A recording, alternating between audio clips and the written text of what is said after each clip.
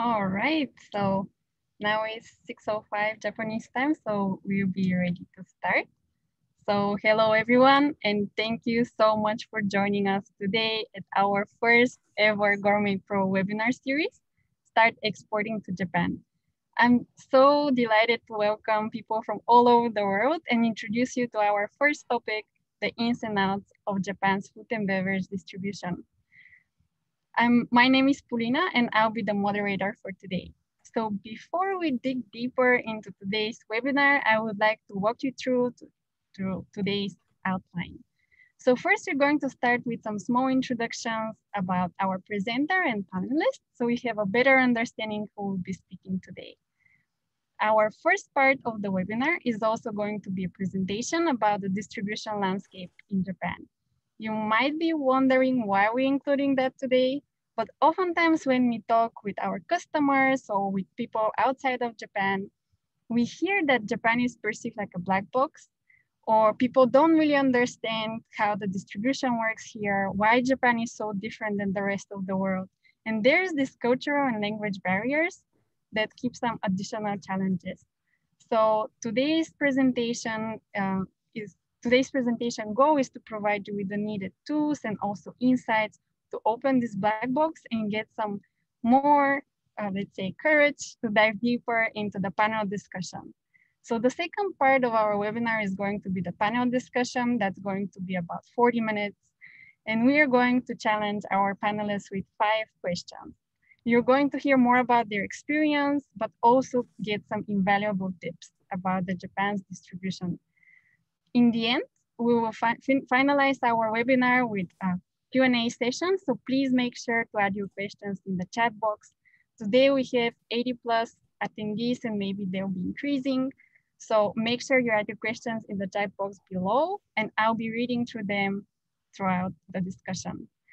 Also, we've prepared a small surprise for everybody that joined today. So please stay tuned until the end. And before we start with the introduction, I would like to say my biggest thanks to today's organizer, Gourmet Pro. Gourmet Pro is the food and beverage expert network here in Japan that's leveraging its consultants' expertise to help international food and beverage uh, companies enter the Japanese market. Through our Market Shake newsletter, but also through this uh, webinar series, we aim to equip uh, our listeners and viewers with the needed information about the opportunities here in Japan. And with our services, we always try to support those companies uh, enter and strategize at the Japanese food and beverage market. So we are ready to start and I would like to welcome our presenter, Vincent, and our panelists, Don and Pascal, to the Zoom stage. So thank you so much. So Hello, I would everyone. like. Hi, Vincent. How are you today? Can you please share a little bit more about yourself? Yes, so nice to meet you, everyone. Uh, thanks a lot for joining us today. Uh, my name is Vincent. I'm the Chief uh, Strategy Officer at Gourmet Pro, and I've been also in this uh, food and beverage industry in Japan, um, working uh, for the last 15 years as a marketer, a business developer, and also as a, as a consultant. And I'm very happy to see that they, you are all joining us today, uh, much more uh, participant than expected. And uh, very happy also to share our expertise with this, uh, with this very first uh, webinar format for us. Thank you so much, Vincent. And we are super happy to have you here today. And I'm excited to what type of insights you'll be sharing with us later today. So I would like to welcome as well Don and Pascal. So thank you so much for joining us today. And Don, could you please share a little bit more about yourself as well? Yeah, hi there, everybody. Thanks for joining us tonight. My name is Don Roxburgh, and I'm originally a New Zealander. And four years ago, I left my career in finance and investment and founded Wholesome Japan to try and bring Japan closer to foreign markets. Uh, we at Wholesome Japan, we import natural food and skincare products that are healthy both for our customers and the environment. We distribute them directly to Japan's top wholesalers as well as independent retailers. And um, yeah, I'm looking forward to the conversation tonight and um, hopefully some of uh, what we have to talk about is of, of value for you. Thank you all for coming and joining us. Thank you so much, Don. I'm so excited to hear your perspective from the importer side of you. So looking forward to our discussion. And I would like to welcome Pascal as well.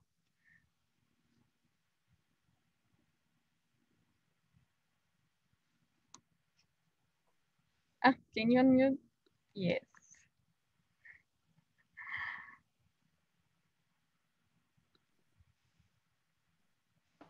Okay, unmute easy. Right, hello everybody. Um, my name is uh, Pascal Javagaya. I'm French. I'm currently joining today to share part of my experience as a former Asia director for Bio c' Bon Japan, so the largest organic retail chain, uh, which I started here in 2016 from scratch as a JV between Aeon Group, the largest retailer in Japan, about 25% of the whole uh, retail, food retail in Japan, and French Bio c' Bon Group, which we grew from so zero store in 2016 to 26 stores as of now. Uh, currently, I am acting as an independent consultant for food and beverage, uh, advising especially European companies trying to enter Japan. I'm also a trade advisor for the French government and um, an administrator of the French Chamber of Commerce in Japan. Very glad to be here tonight, and I hope you will enjoy uh, our discussions. Thank you.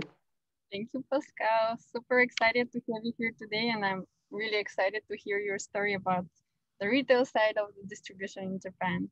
So looking forward to our panel discussion a little bit later today.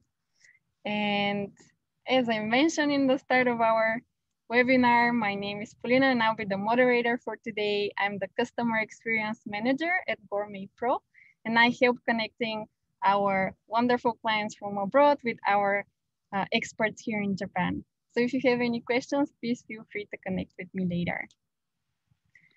So I would like to welcome Vincent to our Zoom stage today and start with our presentation about the food and beverage distribution in Japan.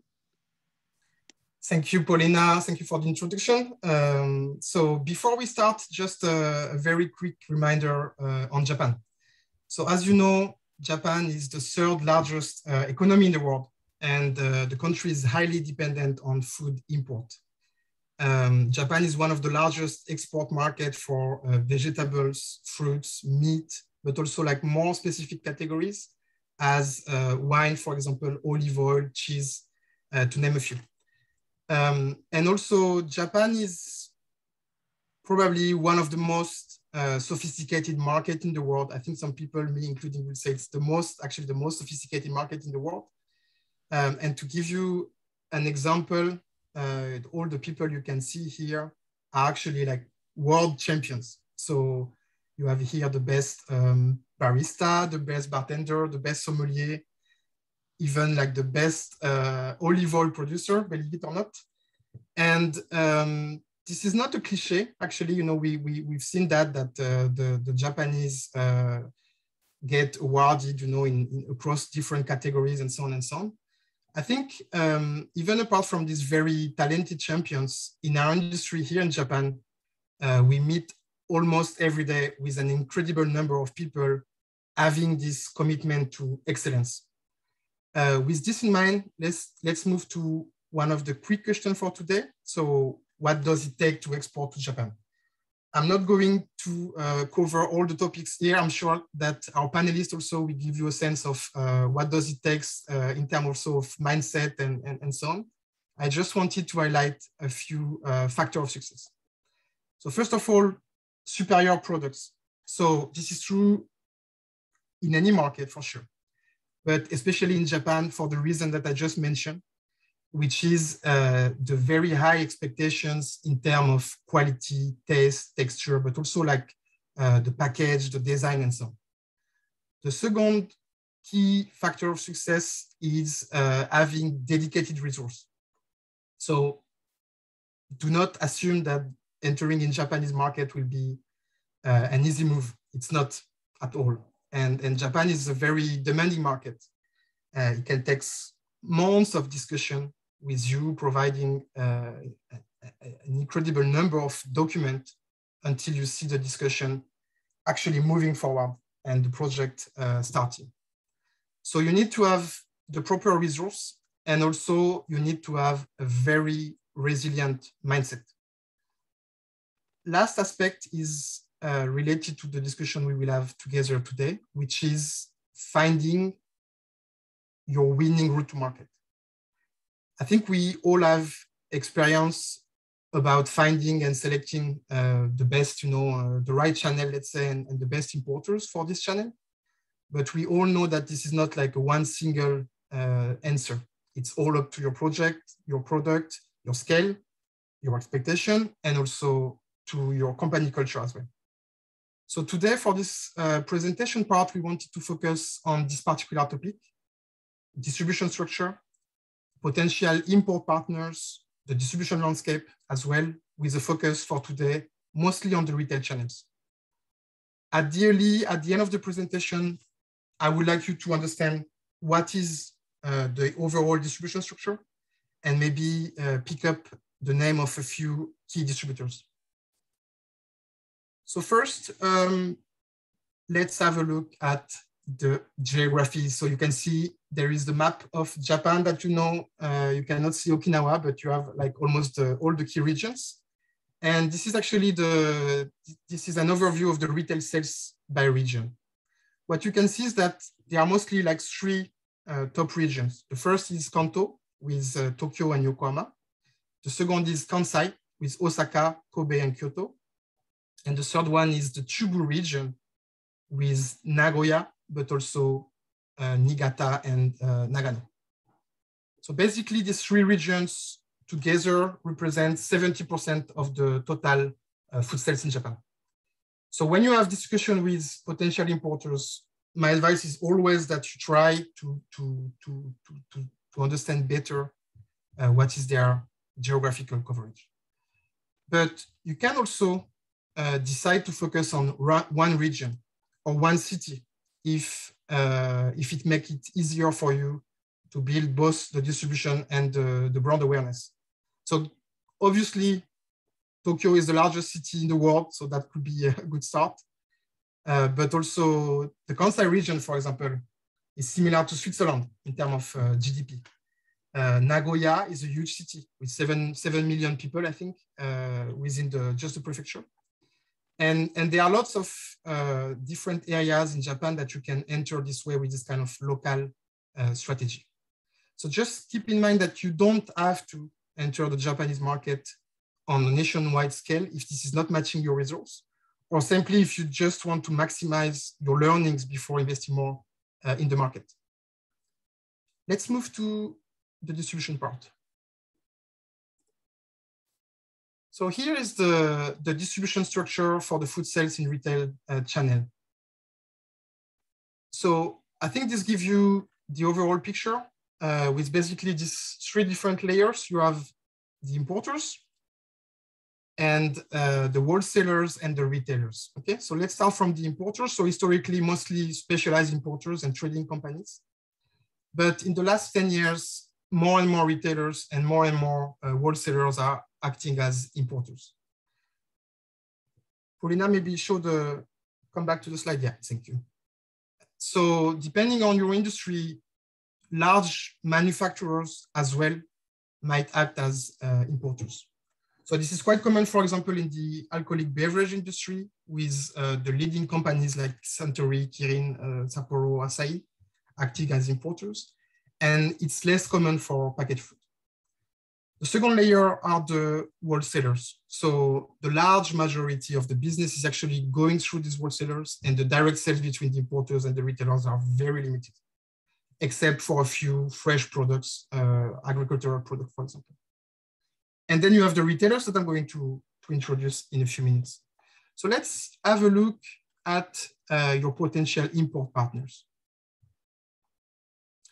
So to summarize, you have the choice roughly between these four types of importers. So let me start from the trading companies, the Shosha, or, or what we call the Sogo Shosha. So some of you might be familiar with company names as Marubeni, Itochu, uh, Mitsubishi, Sumitomo, for example. Basically, they are huge companies. They are like giant uh, trading houses, highly diversified. They have business across all kind of industries. And they invest a lot in agriculture and food manufacturing as well. So to give you an example, Itochu just acquired one of the largest vegetable oil company in Europe a few months ago. So these trading companies are a very powerful route to market, not only because they are big, but also because they actually own the largest wholesalers. And they own also uh, some of the largest retailers, which are their subsidiaries, basically. And because of their size, you can imagine also that they are potentially connected with almost any possible distribution company in Japan or supplier. The problem is that they are very, very selective, very price driven, and also they always want to tap in very large market space. So when you meet these people, they will, the first, uh, when you show the, the any, any project, any numbers, they will start like looking at the size of the price, for example, and try to assess what is their potential business here. And, and usually they are thinking big. So for this reason also, they are not often interested in emerging categories if it's if it, the size of the market is still uh, too limited. So they might be a great partner if your company is, is an industry leader, if you have a unique technology or any kind of competitive advantage, but they are very difficult, as you can uh, imagine, to approach as uh, an importer and to engage as an importer. The second one is the large, uh, large importers. So an obvious choice. Most of them are leaders in, uh, in, in specific categories or specific countries. Montepaschi, for example, for Italian foods, or uh, Allied Corporation for Thai food, for example. They have large sales team, depending on the company, but I will say probably like between 20 and, and 50, 60 people. They run their business on a nationwide scale, and they are working with all the top wholesalers and most of the top retailers, and probably also most of the top food service operators. The problem is that they are difficult to motivate. They have lots of choice. You are not the first uh, to contact them they uh, basically have um, the possibility to, to supply product from tons of different brands. They visit the international trade shows. They receive lots of emails every day, and they are very picky. So also, this is a little bit like personal, but based on my experience, I will say that too many of them are not also really interested in innovation, innovative categories. So when you start talking with them, I think it's critical that you be very well prepared and also be able to demonstrate your brand potential with uh, relevant trade stories, market research, consumer survey, whatever you can build to demonstrate your brand potential. But do not expect them to do uh, this job by themselves, unfortunately. Then we have here the niche importers. So basically small and independent companies often with five to 10 employees. And in Japan, we could say that most of them are very passionate people. I think we all have this experience of dealing with this kind of people. They want to know everything about the product. Uh, they want to know the story. They want to know the process. They, if you are a family-owned business, they might ask you lots of questions about your family history, for example. And this is really what you can provide actually to start the, to kick off the discussion with them you can share with them like very detailed presentation, like, like I don't know, 20 page, 30 page, 40 page of PowerPoint with all the details. You know, this will not never been enough for them. Uh, they will look across this kind of details. So these importers are actually the best option for many of our clients, especially as a first step to test the market potential.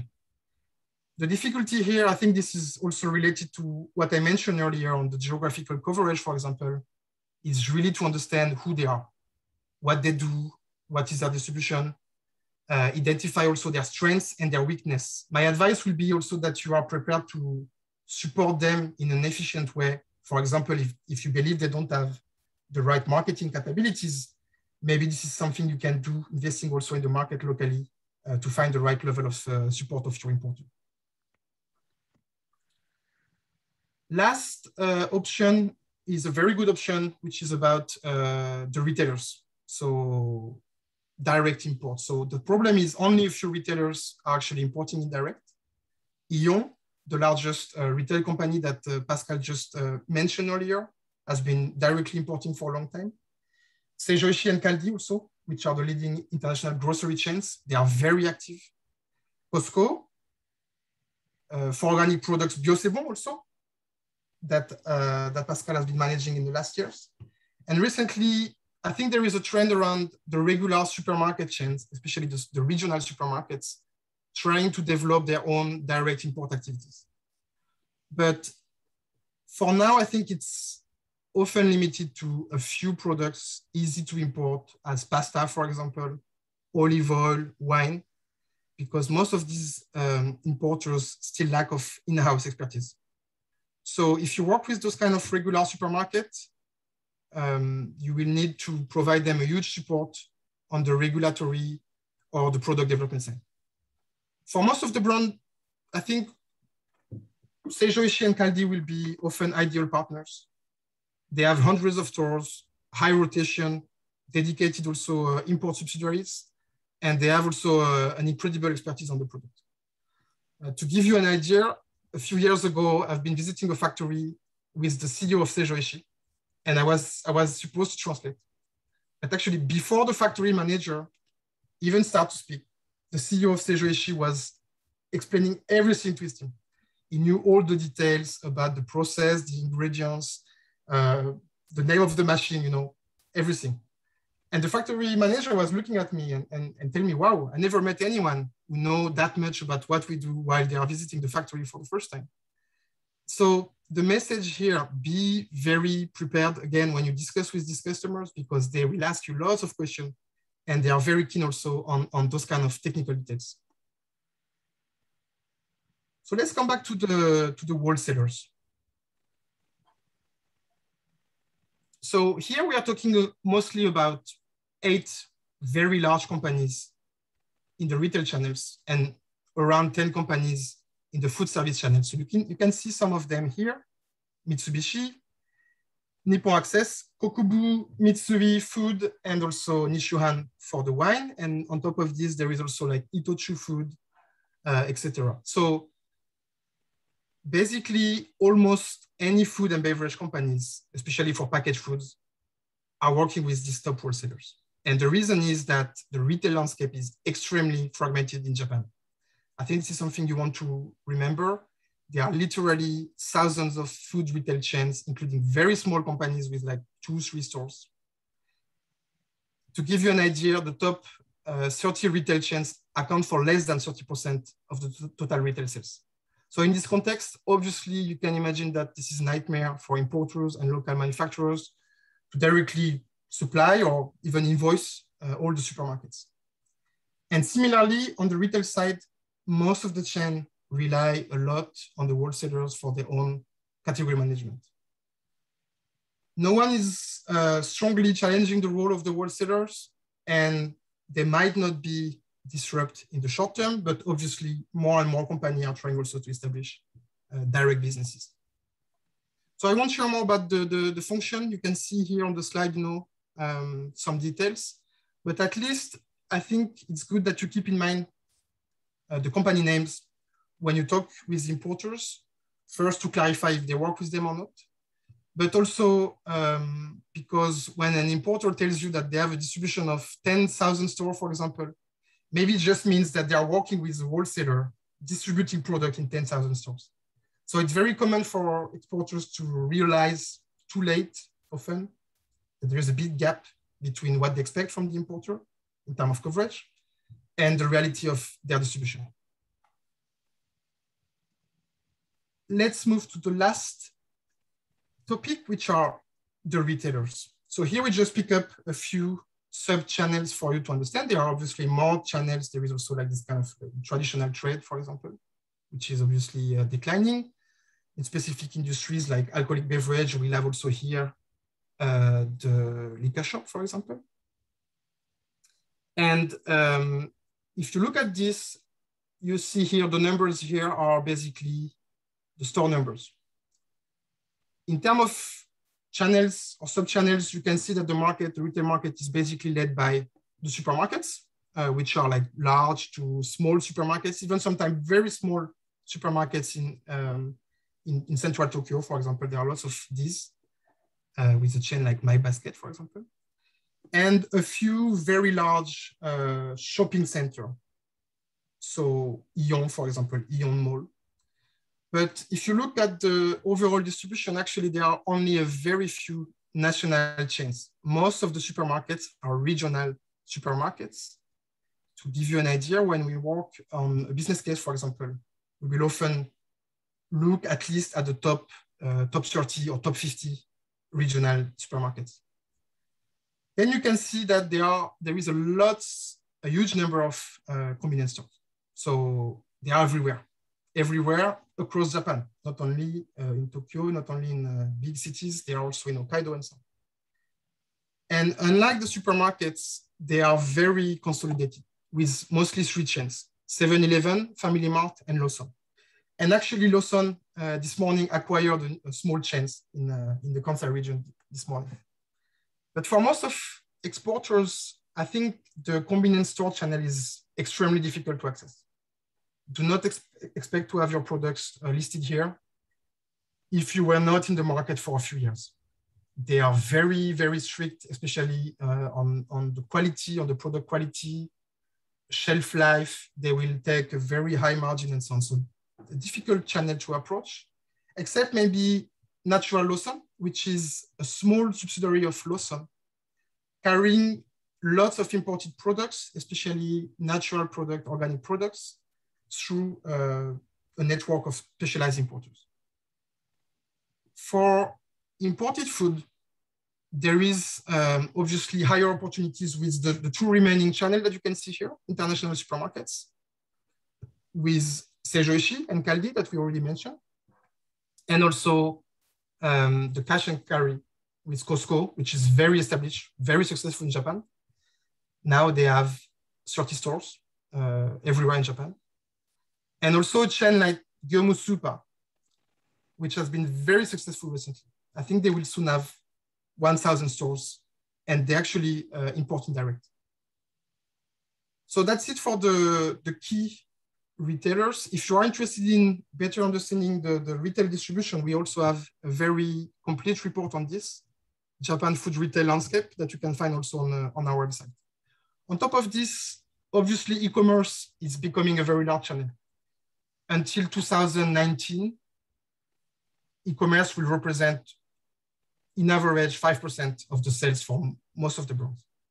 At the moment, for some of the brands we support, it's up to 15 to 20% of their sales. Uh, and this is obviously a very interesting topic. So if you are interested in, in this, maybe we can have also a dedicated webinar in the future. Uh, but I'm not, I'm not going to develop. Just remember that there is in Japan Rakuten, which is a platform, and Amazon also is very strong. So that's it for this session. I will now uh, let our panelists share with you more about their expertise and experience, and maybe we can dive also into uh, more details during the, the Q&A. Thank you very much. Thank you so much for your time, Vincent, and for explaining so many interesting insights and a lot of details about wholesaler, importers, distributors, and I hope our viewers could actually like learn why Japan is so different than the rest of the world. And as you said, remember a few key names about distributors and importers and wholesalers. So thank you so much. And if you have any questions towards Vincent, please put them in the chat box. Uh, and I would like to apologize for the glitch with the presentation because I had to switch them uh, because we had some comments that it was not visible well. So I hope now is okay. Uh, so I would like to welcome Don and Pascal for our panel discussion and move forward to our second part of the webinar. All right, so thank you so much for joining us again. Um, so we would like to dive deeper into more details about your experiences and get some insightful tips for our viewers. So let's start with our first question. We shortly heard about your experience and a short story about yourself. So in the beginning of the webinar, but we would love to hear a little bit more about what was your role in the Japanese food and beverage distribution. So maybe we can start with Don. Uh, could you please share some more details what you've been doing in the past four years as an importer in Japan? Yes, thanks, Paulina. Uh, four years ago, I'm probably at the same situation as a lot of you on the call today. I didn't know anything about um, the Japanese uh, retail uh, landscape and how to import products into Japan. Since then, uh, we've kind of emerged as an importer of a niche importer of products in the, the better for you segment and the health and beauty segment. And um, we work with directly with the suppliers and in their home countries and act as their representatives in Japan. And um, doing a lot of the hard work and the Japanese language work that they aren't able to do. And because we started with no track record, we've been starting with relatively small producers. So that would that has its challenges because we don't have a lot of budget and we're trying to um, bootstrap our way through the Japanese market, which is not easy. Uh, that being said, we have been successful in getting products placed into uh, the high-end uh, international supermarkets and uh, into Natural Lawson as uh, the, the, convenience store that um, Vincent mentioned before. We, to get them there, though, we've had to cover things like whether they can be imported to Japan, labeling, uh, and also working directly with uh, the various channels to facilitate that uh, that um, that product reaching the end user. We also sell online as well, directly in, on Rakuten and uh, Shopify, which is uh, the, one of the key platforms that we use. Thank you so much, Don, for the introduction. It's really interesting to hear about how much you've achieved in the past four years so I'm looking forward to hear more about in the next question. So Pascal, could you please go ahead and share a bit more about yourself as well? Sure. So I think I will focus on uh, my experience with uh, with Bio So as I said, Bio uh, in Japan uh, is a JV uh, between the mother company of the, this French retailer, specializing in small to mid-sized supermarkets in Europe uh, with a total uh, as of last year of 170 stores, um, mostly in France, but also Belgium, um, Italy, Spain. Uh, well, didn't end up very well in, in Europe because they finally got acquired by Carrefour. But in 2015, Aeon approached uh, with the idea to launch uh, the brand uh, in Japan because they wanted to have a mid-size uh, supermarket and develop basically expand the market for organic products. So I was hired in 2016 uh, once the deal has been signed with Aeon uh, as a 50-50 joint, joint venture to launch and develop uh, the chain in Japan. The, fact well, the at that time, uh, the peculiarity uh, regarding organic market is basically there was virtually no organic market in, in Japan. Very few products, very few, a lot of um, misconceptions, not much understanding about what was organic. And as a retailer, we were facing a lot of issues, no products. So once we started, uh, the first stores we had, the flagship, was only having 3,000 products in our total assortment uh, versus uh, about 6,000 units SKUs in Europe for the same time, size of stores. Five years forward, uh, we now have about uh, our local Japanese. Um, basically, the balance is about 50-50 um, for about the same balance also um, years ago. So to face the lack of uh, local organic products, we had to develop a direct import to be able to line the product on the shelves with uh, interesting uh, products as well as complete the basically the holes we had uh, in the racket uh, because we're not able to, to offer uh, a good assortment to the customers. So for that, over the years, we started importing grocery and wine by container, sea freight. Then we moved into temperature controlled uh, fresh products. So namely from France as well as Italy for all kind of uh, various products ranging from hams, desserts, uh, yogurt, vegan yogurts, uh, cheeses, obviously. Uh, and then finally, we have endeavored a little bit into frozen goods.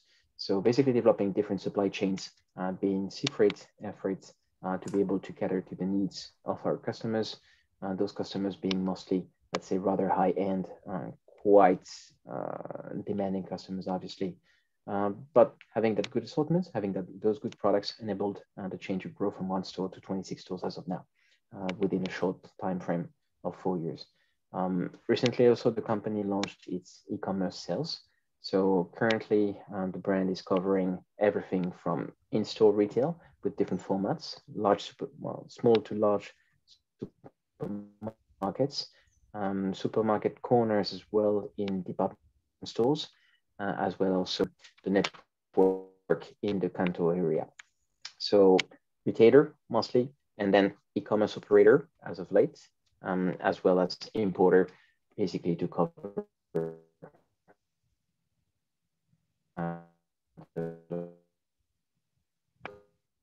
products. Thank you. Thank you so much, Pascal, for sharing this exciting story of Bio and how much the brand and also the supermarket chain developed in the past uh, couple of years. So that's extremely exciting. And the fact that uh, it's both importer and a retailer uh, means it's going to be a lot of interesting stories to share with us uh, later on. So I'm quite excited about that as well.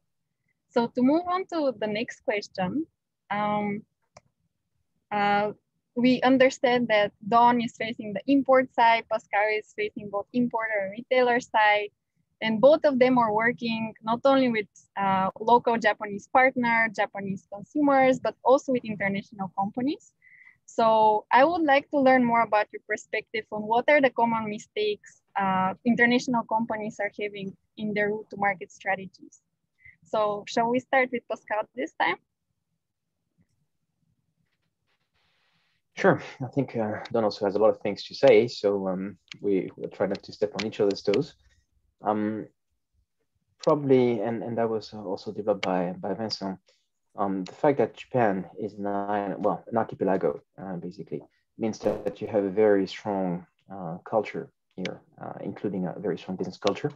And also uh, sometimes the inability uh, to discuss or let's say have, well, negotiations in, in very good English, especially for the smaller, more specialized uh, niche importers. That's not true for the big Shosha who are hiring uh, some of the most talented and bright people uh, in Japan.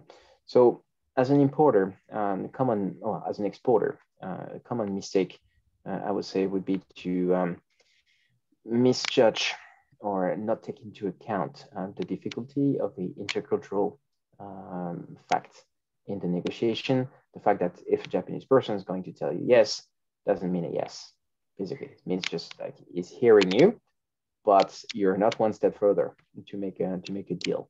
So the ability to be to understand um, this um, negotiation ways, the way how you do that, how you close the deal, um, potentially so through an interpreter, through a consultant like GourmetPro, uh, I think is key.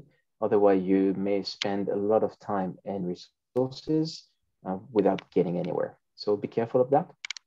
Uh, it's quite easy. Well, it, the market is interesting. It's still the third largest economy in the world. Uh, the Japanese consumers are very interested in new, innovative products. always they have a keen eye uh, for that. But um, getting to negotiate um, with sometimes companies which are having different standards as you have uh, can be a pitfall. So be careful of that. Yeah, thank you for sharing that and emphasizing how cultural differences are a really important factor between negotiation. Because oftentimes you also hear from our side that uh, cultural differences, language barriers, or just not understanding the Japanese ways of thinking is quite difficult. So uh, having giving this tip to be careful about it is actually so valuable. Um, and Don, could you please share about your perspective on that question? Sure. Um, I think I could sum it up in one word. Um, the biggest mistake is underestimating.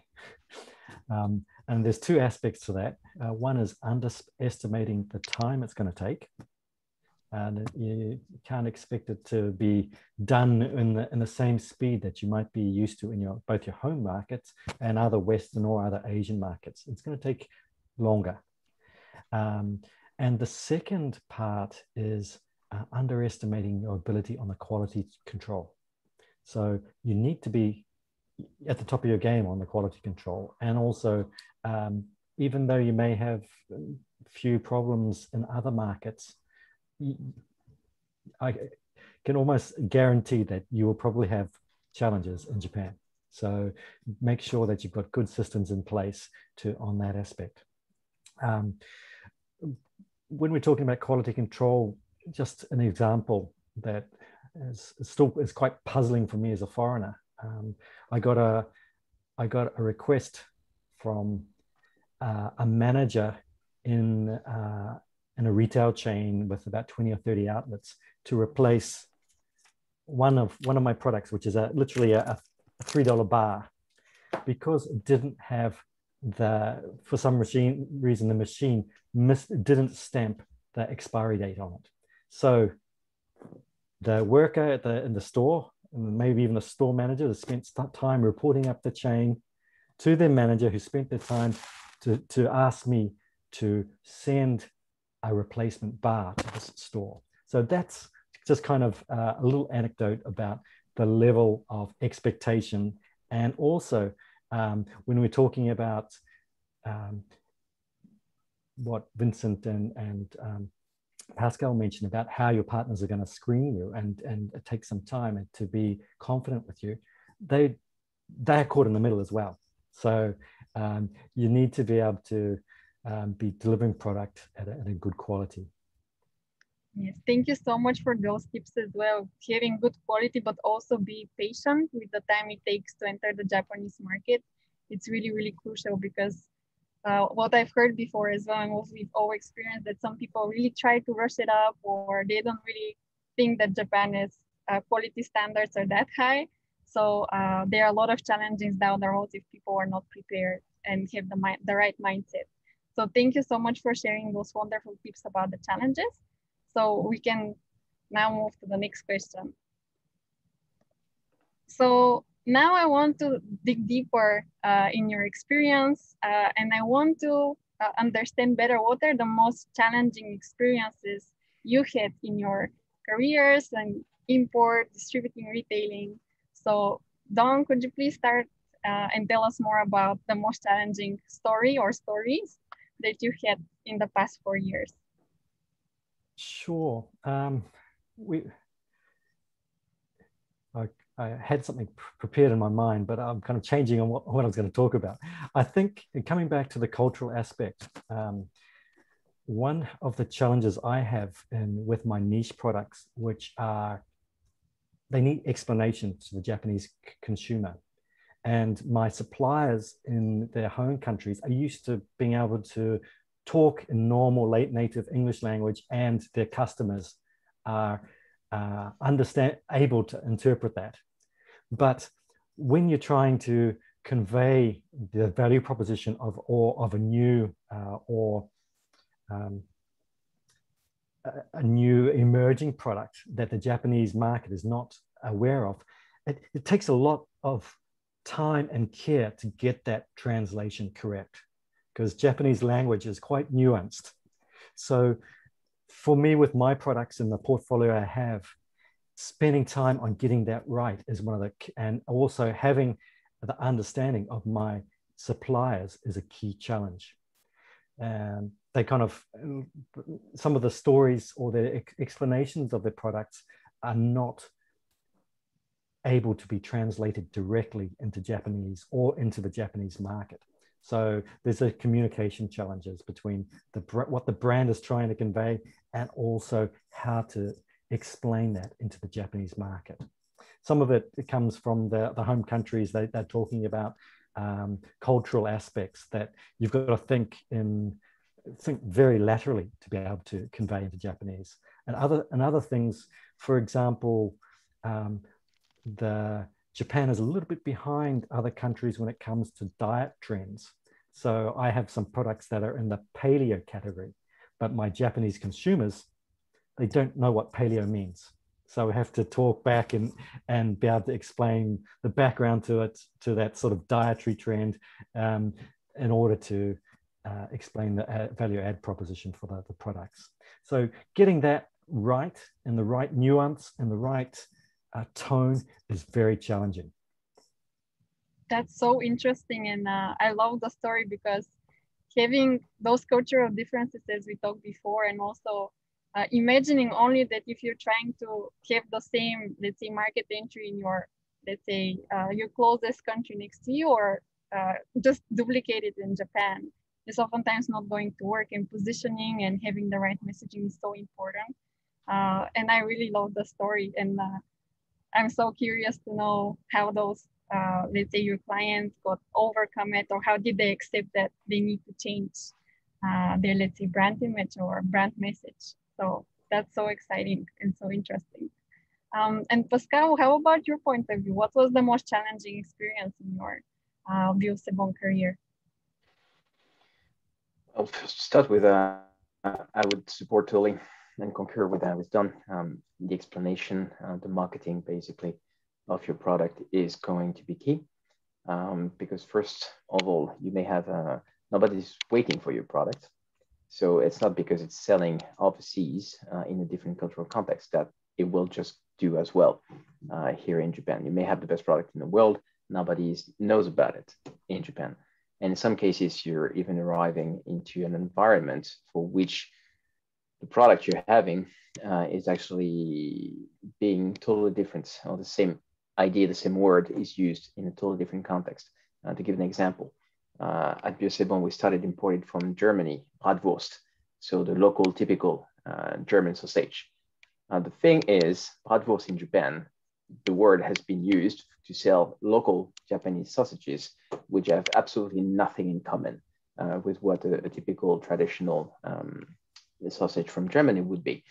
So the Japanese consumers had already a preconceived idea about what a sausage should be, which is absolutely nowhere close to the concept of what a traditional real German sausage is. So you have to um, debunk basically the myth, try to go back to the roots, explain that, and that's a lot of time, money spent, explanation, people on the ground tasting events also to get the product to, to get the people to get to know the product and recognizing it's good until they can make the purchase. So don't underestimate that. It, it requires uh, quite significant effort on the part of, uh, of the importer um, when it comes goes to the retailer to promote the product. And these efforts, the importer, uh, the wholesaler will ask you as a manufacturer to cover part of part of totality of that cost. So be ready uh, to to be well to be confronted with that because uh, that's really required uh, if you want to be successful on the long run in in Japan. Um, then to change a little bit uh, and go to another topic, I would say one of the the key or most challenging things you need to do in Japan is the attention to detail, and especially uh, when importing products, you have to cover two things, uh, the list of ingredients and the process. So those are requirements uh, to be able to import the product. And the list, the ingredient list goes into a lot of details. So it's not just like first degree, it goes up to third degree, uh, listing where is the provenance of the ingredients of your ingredients of your ingredients. So you need to give all the details uh, about the process, all the details about your ingredients, and it's not because your importer wants to be able to copy your product and just redo it in Japan. It's just because the regulation is like this. And some, um, the fact is that in Japan, some of the ingredients that you may be using in, in Europe may be illegal, uh, may be considered as uh, allergens in Japan. Uh, take, for example, the um, uh, soba, uh, which is the, the buckwheat. Uh, buckwheat in Japan you will find very easily, like the soba noodles, for example, but still it's considered as an allergen, which is not the case in Europe. So you have to change the labeling to be able to do that. And you have to identify very clearly uh, if there is possible contamination, cross-contamination in your product. And if you do not, um, then you can be expected to run into a lot of trouble, uh, as actually we did before. So once we started Bio C'est as I said, we needed to cover uh, basically to bring products from, of, from Europe because we didn't have any, any resources. So we endeavored to bring uh, in the first two containers 1,200 SKUs at one time. Uh, to give an idea, that's never done before. We managed to go and bring uh, at the end of the day to get approved 700 SKUs out of the 1,200. And that was the largest amount of first time products imported in Japan ever done. And we did that in six months, but with crazy amount of work. So we had about six people in Japan, six people in France full time working on just getting that right. And at the end of the day, um, about half, you know, 500 SKUs we couldn't get through. Why? Because some of the importers just didn't have the information.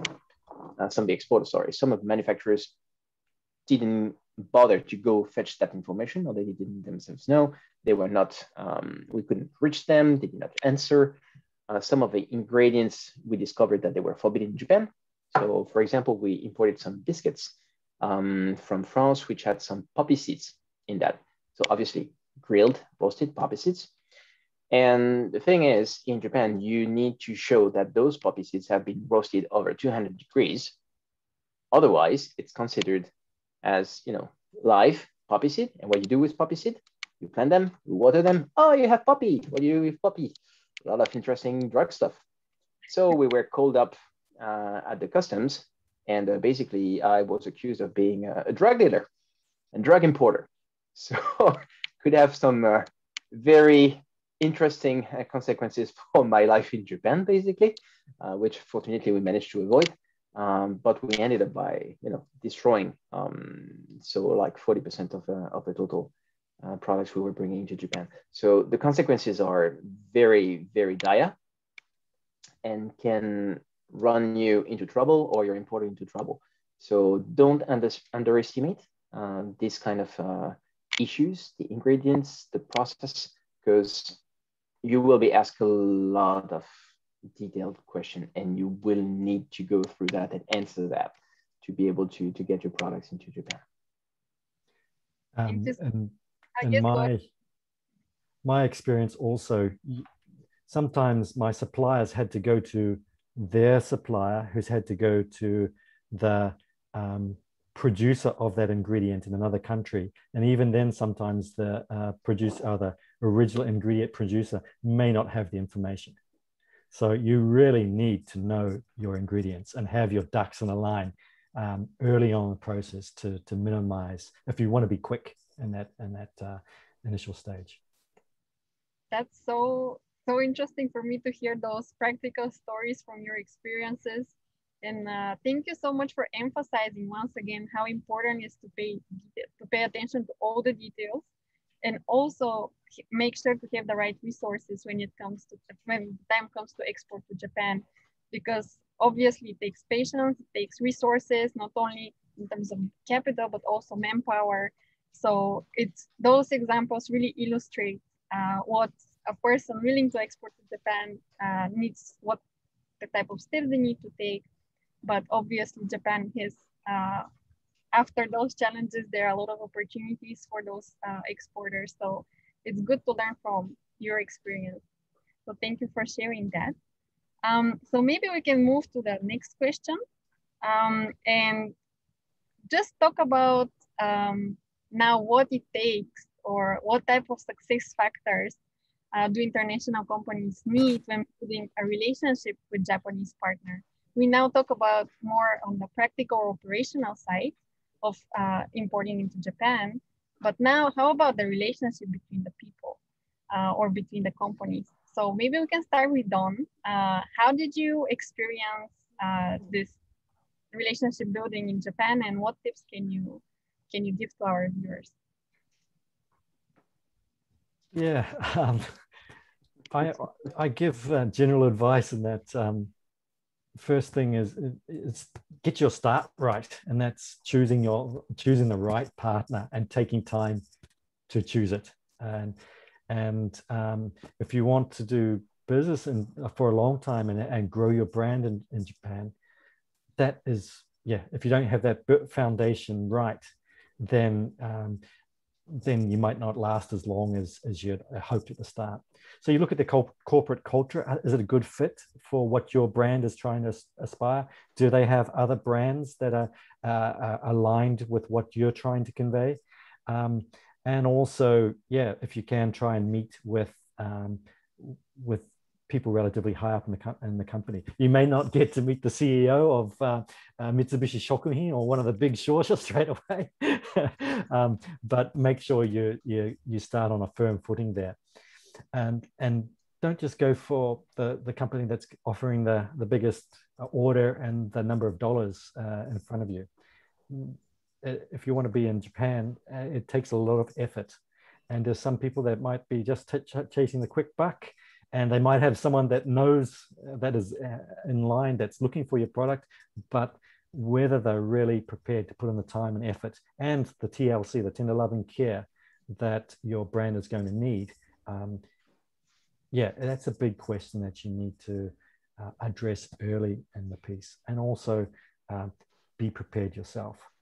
Once you have once you are uh, have a partner then the key is to provide them information time in a timely fashion in an easy to digest format. Remember, they're not they're probably not necessarily native uh, English speakers, um, and so the time it takes them to read your big messy flowchart or your um, list of uh, ingredients um, is less time they have to actually get their product into, into Japan.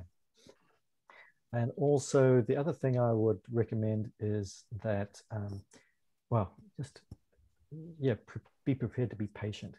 And um, uh, as we've said a number of times in this webinar, that um, expect things to take time and not get anxious or um, too upset if things are taking longer and the level of questions are much deeper than you've ever encountered elsewhere. Um, that's Japan. Uh, it's going to be deep. It's going to take time and there will be misunderstandings. So um, you just have that in your mind from the start. Go in with a, a, an open mind and an open heart would be probably what I what I recommend.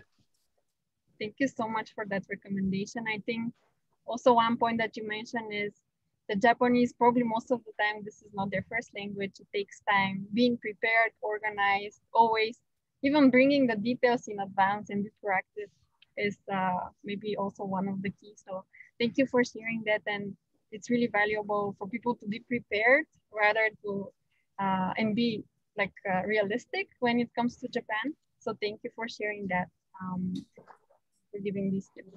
So Pascal, how about from your side?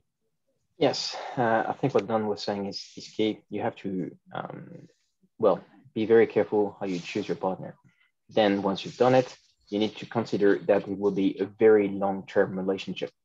And that means you need to invest time uh, and money at the beginning and efforts to be able to build a strong foundation. And this, these foundations will be tested.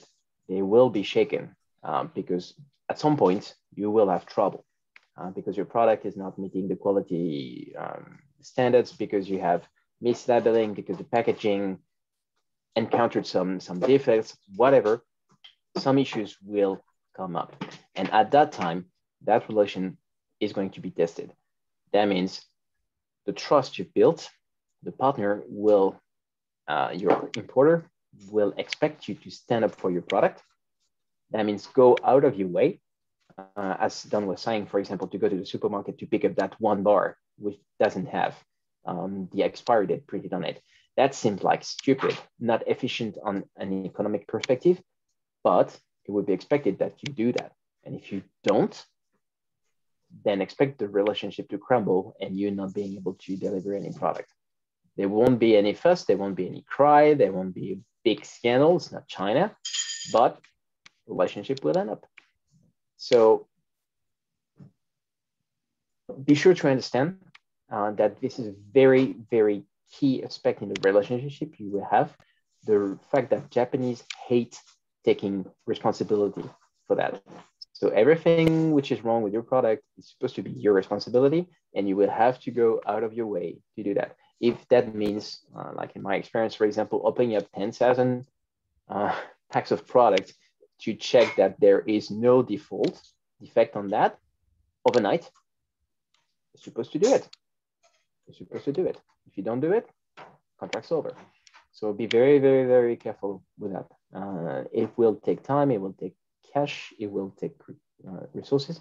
So that's also one of the reasons um, when you do your pricing, for example, you need to factor in the fact that things like this will happen. So if you don't want to be in the red, take the long time view, uh, take some buffer uh, to be able to protect the relationship. Thank you so much, Pascal, for this valuable tip. Especially, I saw some uh, some questions about pricing and giving this advice to put some buffer in your price for those that, let's say, relationship building and maintenance is really important. Uh, and thank you both for emphasizing that building this relationship, building the trust, it takes so much time and effort from the person that export to Japan. Uh, but once this is done, you make sure like your partner in Japan is also reliable. So it goes both ways, right? So uh, thank you for sharing your stories and thank you for explaining, uh, giving some examples from your experience. So uh, I'm really excited to move also to the next uh, question because I saw a couple of questions about that topic as well. Um, so finally, like what type of emerging opportunities there are for international food and beverage brands? Probably most of our viewers are from abroad, so they're quite excited to hear um, what are the emerging categories, what types of products uh, are seek here in Japan. So how about Don again, could you please share a little bit more about your uh, opinion on this question? Yeah, I'm a, I've got a little bit of a, what's the word, um, a bias here because I'm knee deep in the in the better for you segment, uh, in the uh, organic and plant based segment.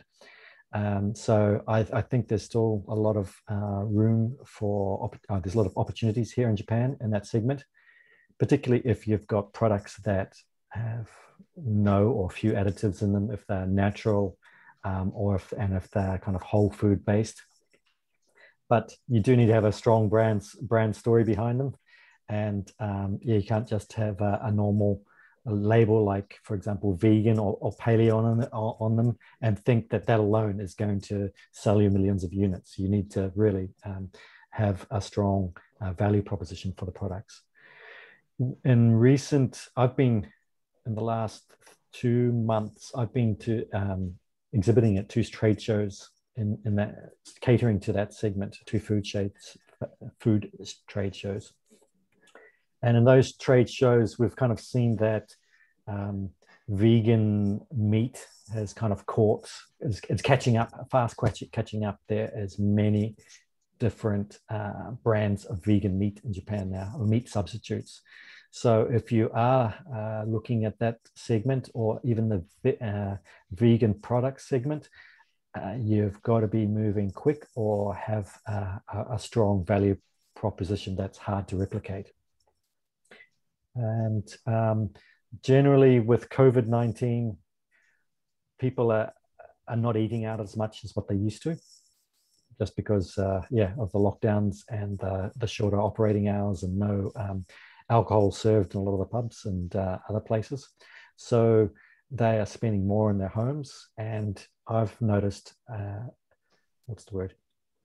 Uh, um, people are paying more for pro- products that are healthy and natural, and um, they know co- they come from uh, locations or producers that have um, strong track records or have, yeah, um, are, can be trusted. Thank you for sharing that. It's really interesting because I met Don also at this uh, expos and uh, we were discussing like there's so many new vegan products. Uh, it's changing quite fast, like because usually Japan it takes two or three years. So it's uh, quite interesting to hear uh, as one of, from Don that this is one of the uh, emerging categories. So uh, I'm also looking forward to seeing more products on the shelf. How about Pascal? What do you think about it? Thanks, Sam. Uh, basically, same point, which is um, Japan is, let's say, quite conservative when it comes to importing um, products or categories. So the country itself is a bit of a late comer, late adopter to the new trends. So uh, vegan is a case in point, uh, organic is a case in point. Uh, organic, for example, must be about 2% of the overall global consumption in Japan, uh, compared to around 10% in, in Europe as of now. So it takes time for the global waves to reach the shores uh, of Japan and barriers to, to entry or habits, uh, consumption habits are, are quite um, to change. Now, COVID has been interesting because indeed, as Don was putting, uh, it disrupted quite a few uh, ingrained habits. So uh, one trend, which is interesting for me, is that, for example, frozen goods, frozen products are, are on the rise, whereby up until now, it was considered as something which is, you know, quite uh, degrading uh, if the the mother of a family was was using only frozen products, even though might be good quality, then she's not supposed to do she's not doing her job properly.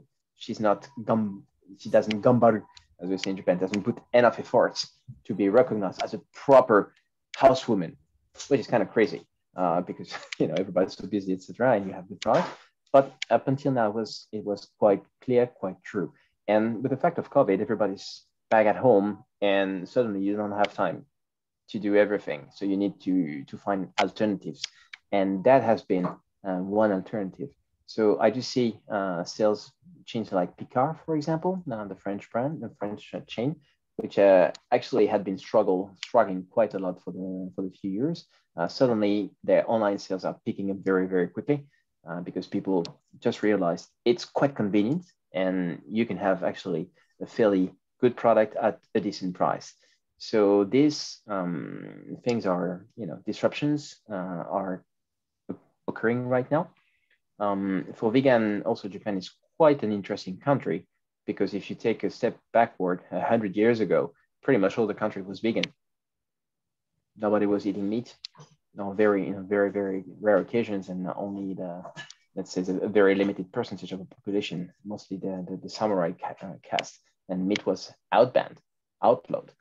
So they went 180 degrees, and now they're talking meat, meat, meat, meat, meat. And then slowly, even slowly, uh, now starting to realize, oh yeah, there might be options for a vegan, uh, a vegan, a vegan diet. So it takes time. Um, being an early proponent of this means you need to educate the market.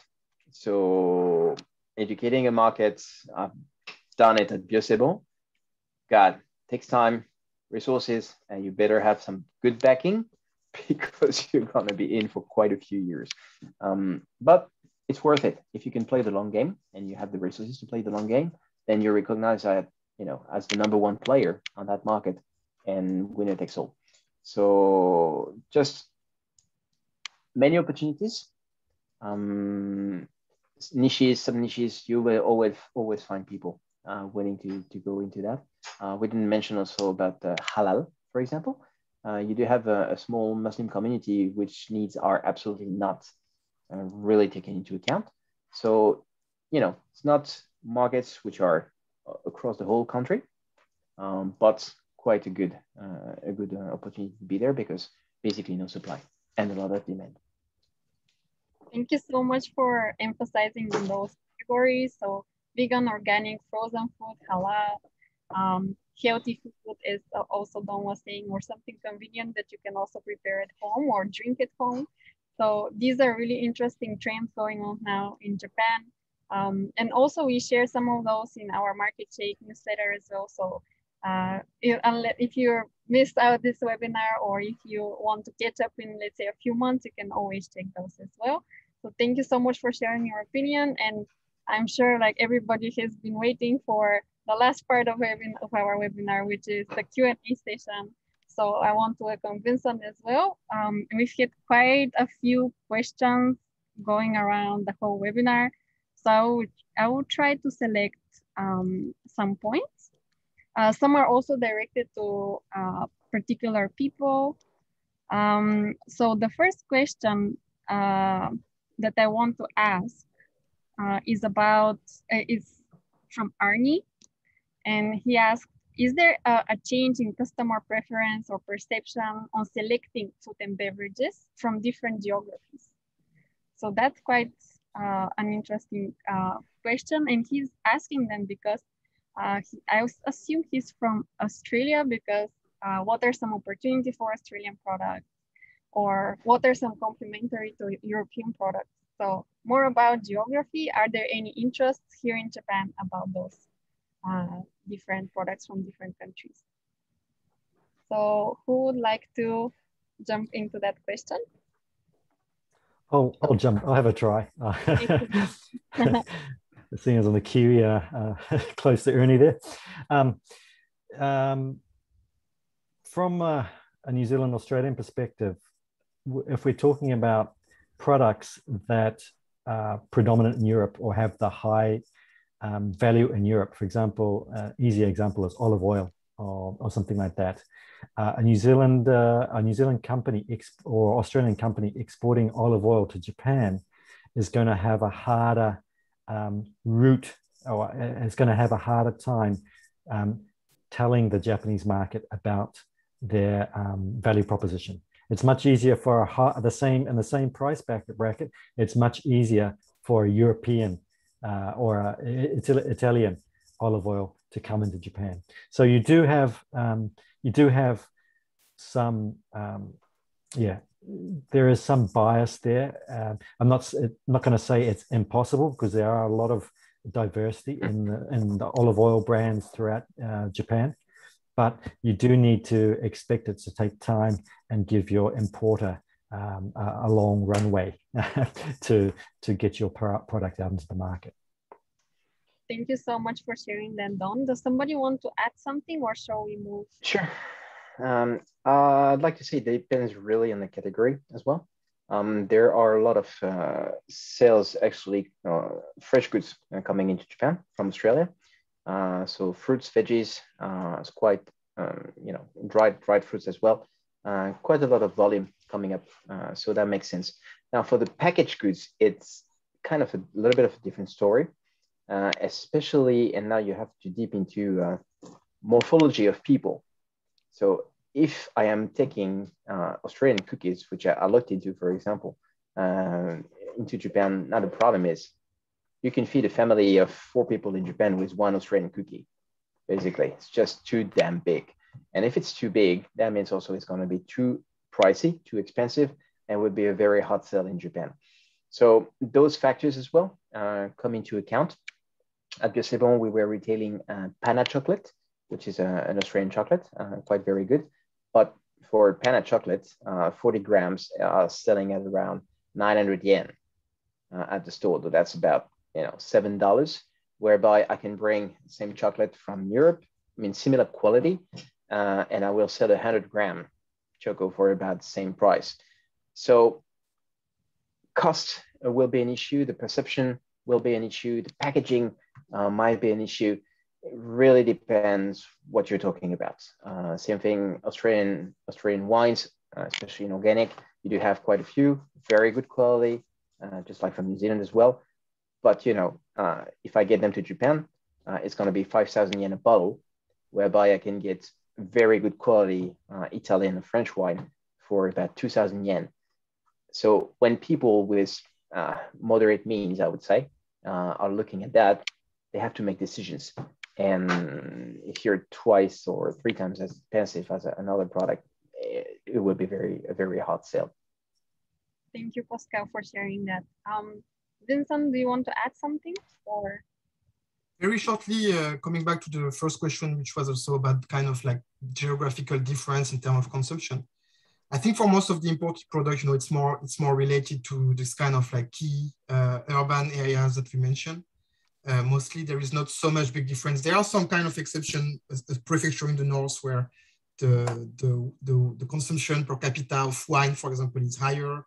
Hokkaido also is more westernized in terms of, term of food habits. And then there is also some exception related to local or historical um, non-Japanese communities. So uh, historically, you know, uh, Japanese Brazilian people, for example, in some areas, uh, lots of also of um, people from time in some uh, in some uh, geographies and so on. So that could be the exception, but uh, for most of the exporter, you don't have to assume very big uh, difference in terms of consumption. The big difference is more like remember that Japan it's both like Hokkaido and Okinawa, which is tropical. So of course, you know, also depending on the on the product, you might have more potential in uh, in some region and less in other region.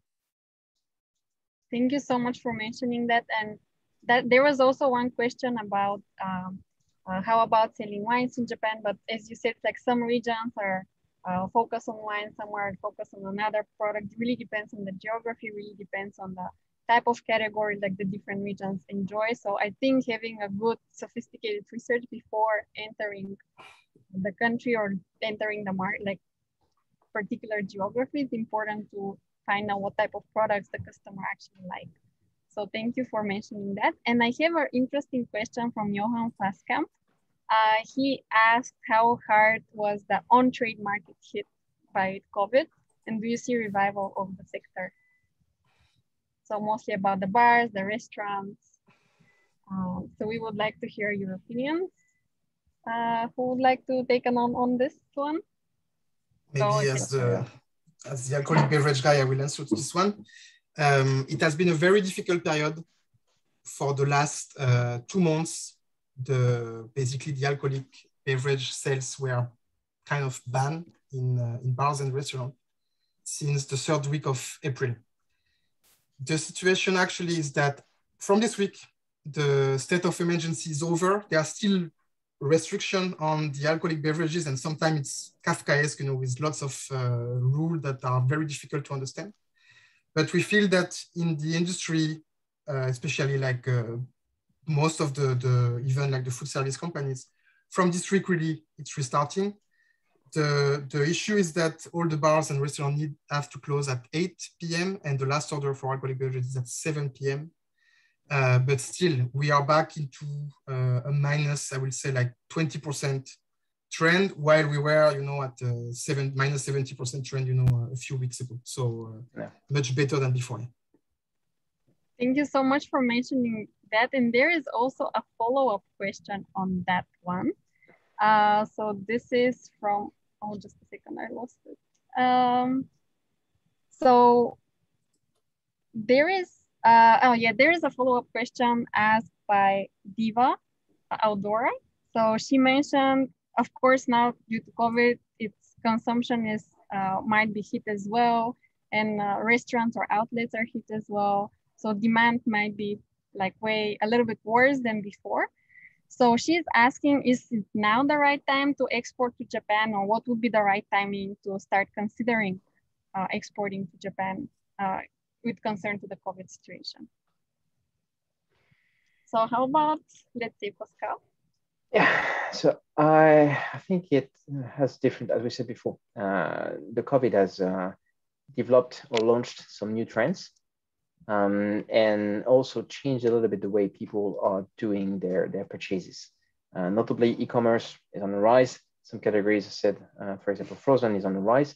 And the fact that people are not going to the restaurants anymore uh, has actually shifted some of the uh, consumption to some a little bit more premium products towards the store.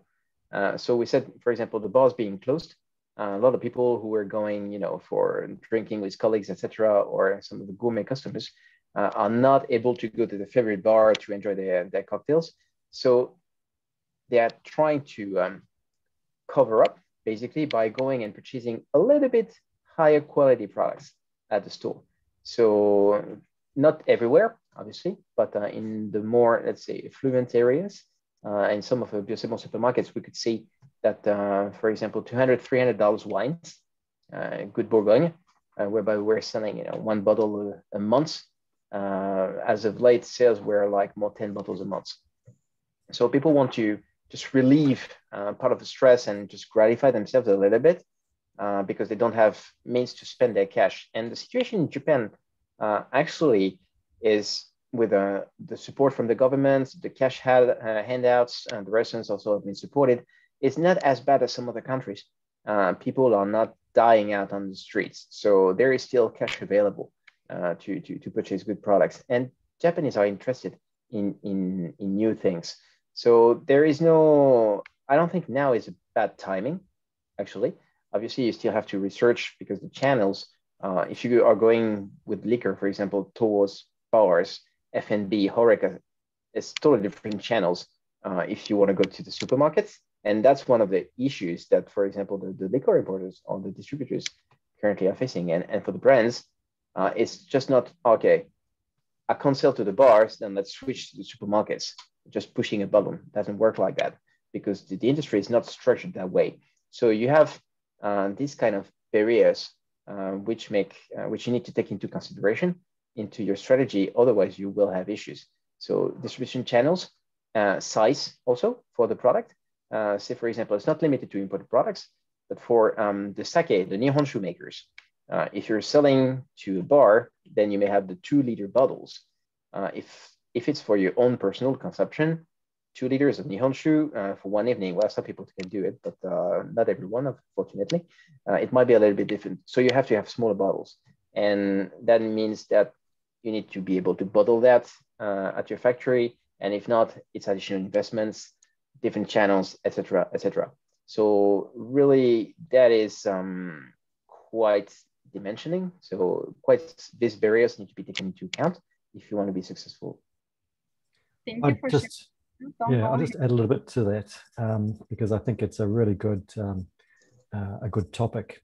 Um, I I think oh I just wanted to add about the costs of bringing products to Japan. Obviously, with the air traffic um, lower and also sea freight um, uh, challenged at the moment, uh, it is harder to get your products to Japan and more expensive.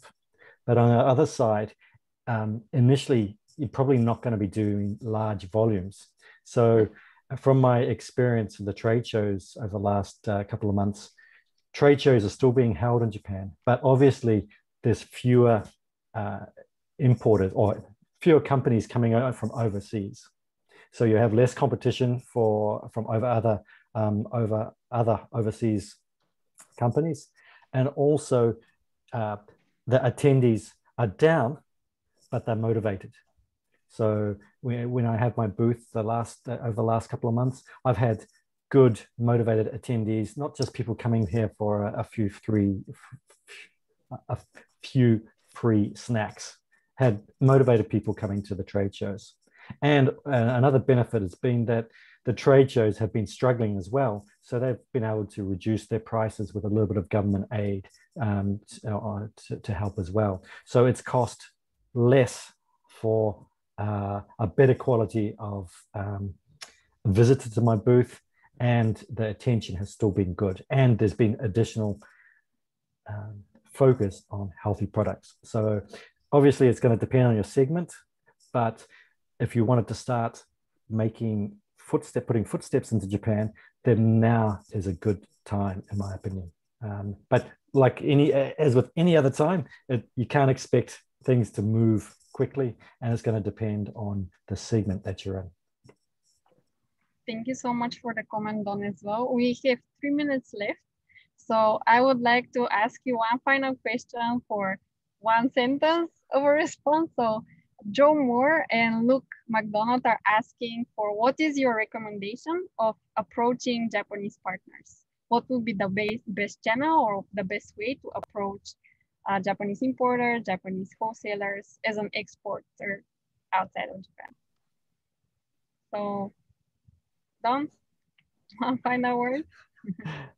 This is the million dollar question. I wish I had a, a it. I'd be saying this family jewels if I was able to give you a good answer for that. But uh, um, I've, I've been doing it gradually, and I've found that trade shows have been um, successful. And so, if you've got a new product, um, getting yourself at a trade show, you can do that by reaching out to people that specialize in it or doing it through a chamber of commerce. Most countries have a chamber of commerce that are able to help with that. Um, getting in trade shows and putting your best foot forward with uh, a product and and turning up with some localized explanations and preferably some products that have already landed in Japan um, is also helpful. That'd be my recommendation. I don't know, um, but uh, Vincent and Pascal, do you have any other? other yeah, I totally concur. Basically, the, you have to keep in mind that Japanese people are not very conceptual people. Uh, they're very touchy-feely, uh, very practical uh, people. So if you want to promote your product or try to sell your product, you need to get your product in Japan, uh, one way, one way or the other. So some, some of the chambers, uh, especially the French chambers, is now on putting um, programs to be able to import samples uh, on your behalf and then engage uh, first kind of uh, engagement level uh, with the, the usual suspects, being the department stores, being the, the large chains like Aeon.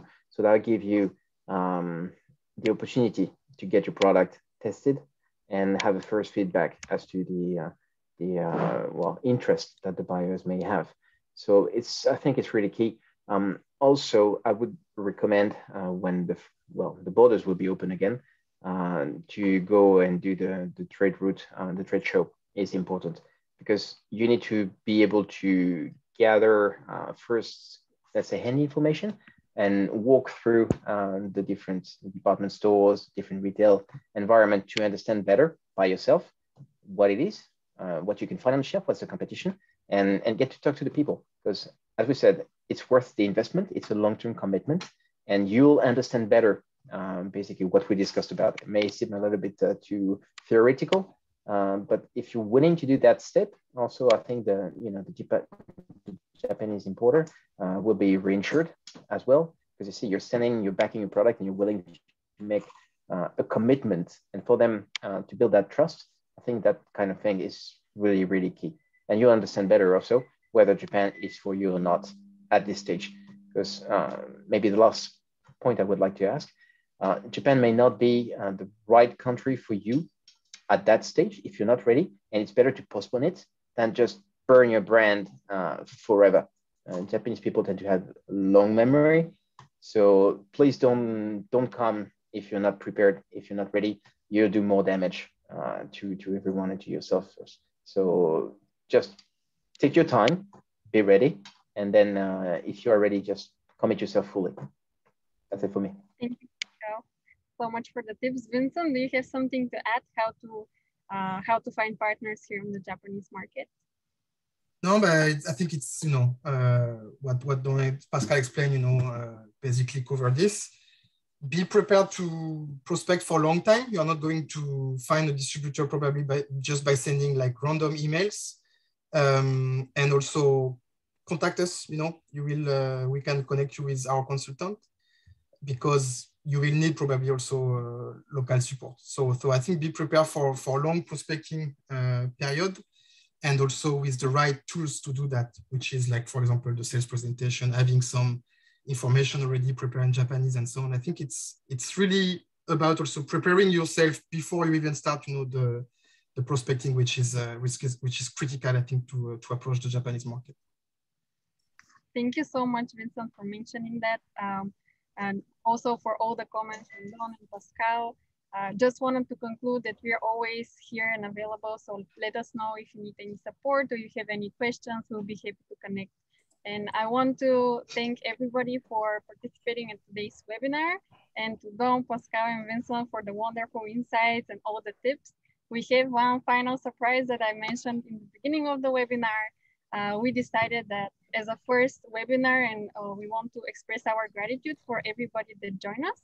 So we'll be organizing uh, uh, 10, uh, 10 consultations, 30 minute consultations to our participants. So please expect an email from us uh, where you can submit a form uh, with more information about your company and we will select 10 companies that can have a 30 minute consultation with GourmetPro and we can advise you on how to enter the Japanese market. So stay tuned for those emails. Thank you so much for your time. Thank you so much to Don Pascal and Vincent. Uh, we were so delighted to have you all. Uh, and please stay tuned for uh, the rest of the webinar series. Have a wonderful day ahead or evening ahead, and uh, let's keep in touch. Thank you so much.